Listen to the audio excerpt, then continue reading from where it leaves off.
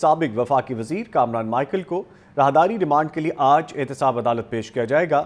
ذرائع کے مطابق کامران مائیکل کو راہداری ریمانڈ کے بعد نیب کراچی منتقل کیا جائے گا۔ عدالت کے باہر سیکیورٹی کے سخت انتظامات کر دیے گئے ہیں۔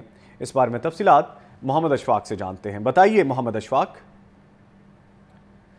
محمد اشفاق سے بھی جاننے کی کوشش کریں گے۔ آپ کو بتائیں کہ سابق وفاقی وزیر کامران مائیکل کو راہداری ریمانڈ کے لیے آج احتساب عدالت پیش کیا جائے گا۔ ذرائع کے مطابق کامران مائیکل کو راہداری ریمانڈ کے بعد نیب کراچی منتقل کیا جائے گا۔ عدالت کے باہر سیکیورٹی کے سخت انتظامات کیے گئے ہیں۔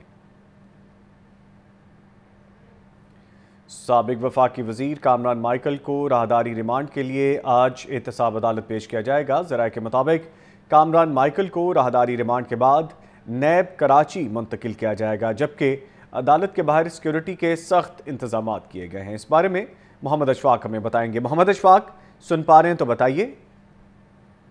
صاحب، عدالت میں آج نون لیگ کے سابق وفاقی وزیر کامران مائیکل کو راہداری ریمانڈ کے لیے احتساب عدالت میں پیش کیا جائے گا اور اس پیشی کے موقع پر احتساب عدالت کے باہر سیکیورٹی کے انتہائی سخت انتظامات کیے گئے ہیں۔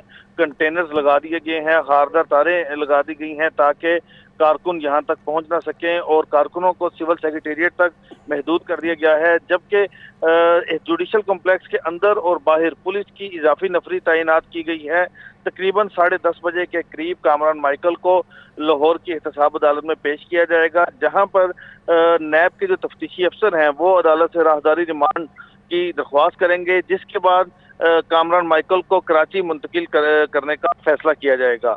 تو ساڑھے دس بجے کے قریب کامران مائیکل کو پیش کیا جائے گا اور اس پیشی کے موقع پر